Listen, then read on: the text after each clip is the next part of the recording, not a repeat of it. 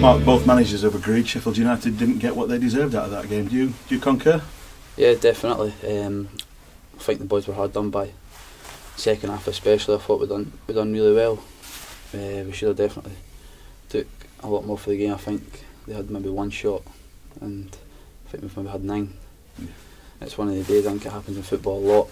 Just sometimes it, it, it doesn't roll for you, and it's happened out there tonight. I presume I presume those type of games frustrate you a little bit more than normal, do they? Yeah, massively. I mean, there's. I'm sure it'll balance out over the course of the season. I'm sure there'll be games where we don't play as great and we, we sort of nick at results. So hopefully it swings both ways. But like I says tonight, the, the boys are gutted in there. We definitely should have had something for the game. It was a tough battle in a long shift against in a top of the table clash, wasn't it? Yeah, hard game. Um, they're a good team. We don't take that away from MK Dons. They are a good team, and it's always going to be a hard game. But like you say, the boys are obviously feeling a bit down because they feel like we've sort of lost out in some points.